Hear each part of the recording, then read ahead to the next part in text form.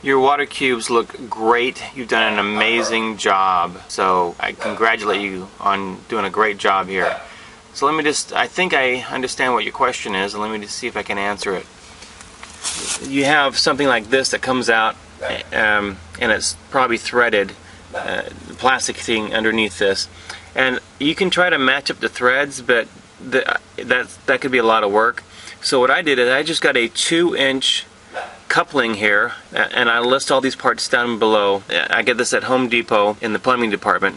Get all these things in plumbing department. So I got a 2 inch connector here. Then I have a 2 inch to 3 quarter inch conversion and this is threaded inside. Between this part here, this is called a compact ball valve. This is a 3 quarter inch.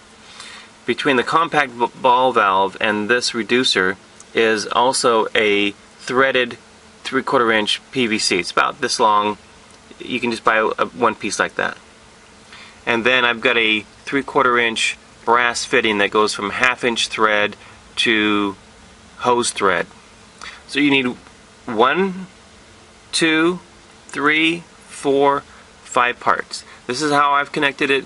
Maybe somebody else would have a different recommendation. But you're trying to get down to a hose size here. Yeah, to make it easiest, I would clamp this on here first, slide this in, clamp that on, use some Teflon tape, wrap it around the the, the small, uh, it's probably you know a couple inches maybe, threaded three quarter inch PVC. Then thread this on, and as you thread this on, that'll tighten that pipe up. Then put some Teflon tape onto here, that tighten that on. You probably need to hold this and tighten that on and then you, you, are good to go. Hope that answers the question. I am watering my system, as you probably know, off of my water cube. If you have any other questions, please contact me. Great work. I'll talk to you later.